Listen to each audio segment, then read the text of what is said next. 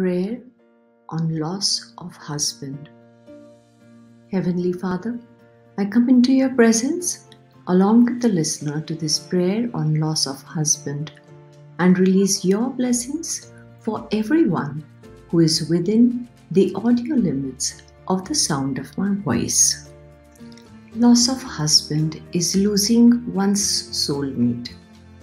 It can be very painful, hurting, and life without him can be very overwhelming or traumatic.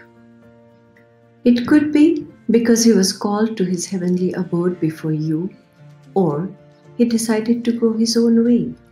The deepest hurt is the untimely death of husband. But when you love the Lord your God above everything, then he takes control.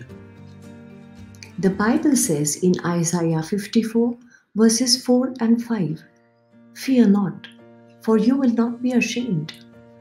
Be not confounded, for you will not be disgraced. For you will forget the shame of your youth, and the reproach of your widowhood you will remember no more. For your Maker is your husband, the Lord of hosts is his name and the Holy One of Israel is your Redeemer, the God of the whole earth, he is called. In the name of Jesus, I come against every shame, every fear, every confusion, every anxious thought, and I release God's love and comfort to fill the vacuum created in your life. Only God knows and understands your grief the Bible says, Blessed are those who mourn, for they shall be comforted.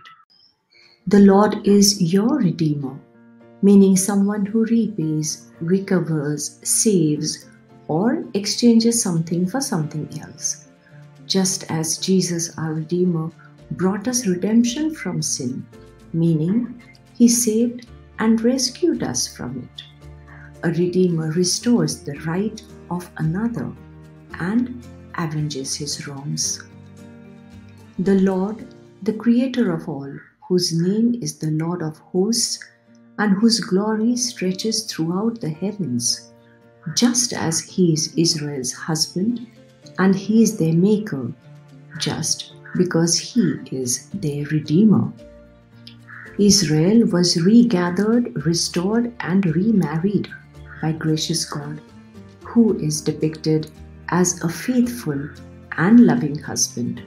Exactly the same way may you experience God's provision for everything.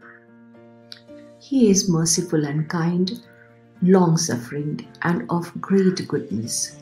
His love never ends, and his compassion never fails. His promises are altogether true, for he is the Lord of hosts. May Lord's love surround you too, as I have declared Isaiah 54, verses 4 and 5 in your life. Experience God's faithfulness in spite of every setback. Thank you, Lord, for comforting my listener on the loss of her husband. In Jesus' name, Amen.